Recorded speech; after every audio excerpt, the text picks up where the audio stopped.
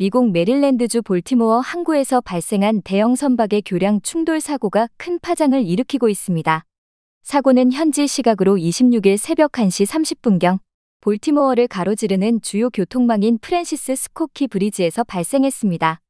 이 충돌로 인해 다리 길이 2.6중 일부 구간이 무너지는 큰 피해를 입었습니다.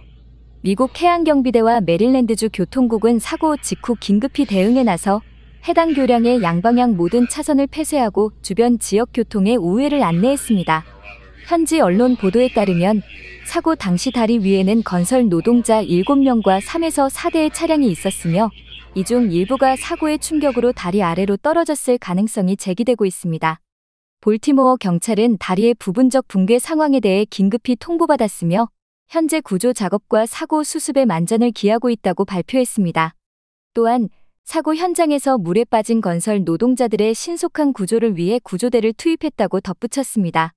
이번 사고는 볼티모어 항만을 이용하는 선박의 안전관리와 교량의 구조적 안전성에 대한 재검토의 필요성을 다시 한번 부각시켰습니다.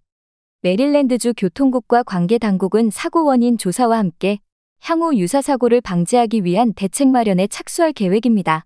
사고로 인해 피해를 입은 이들과 그 가족들에게 심심한 위로를 표하며 볼티모어 지역사회와 관계 당국이 하루빨리 정상을 되찾을 수 있기를 바랍니다.